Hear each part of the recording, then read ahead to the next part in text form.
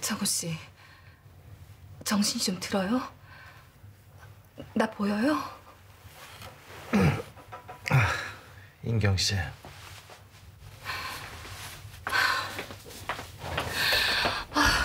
다행이에요.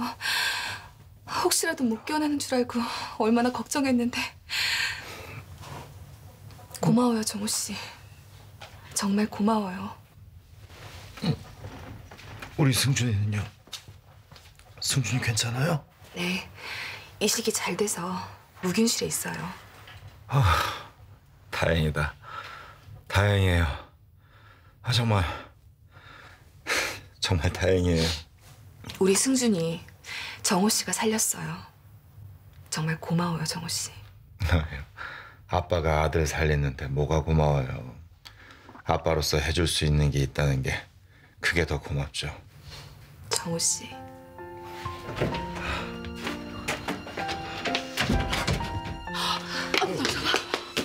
아버님, 있으라, 누워 있으라. 아이고, 우리 남서방 깨났나? 남서방 고맙대.